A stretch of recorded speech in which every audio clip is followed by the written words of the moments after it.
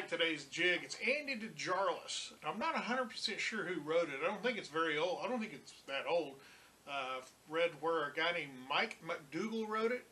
Also read where Andy himself wrote it. Uh, there's a few different stories out there.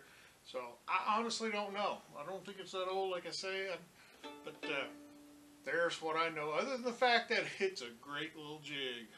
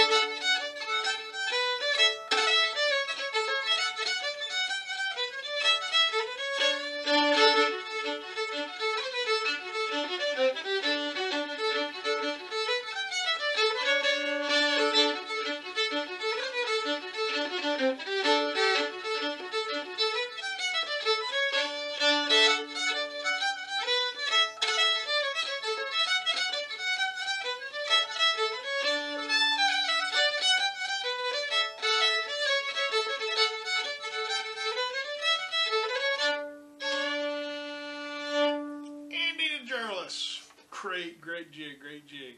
See y'all tomorrow.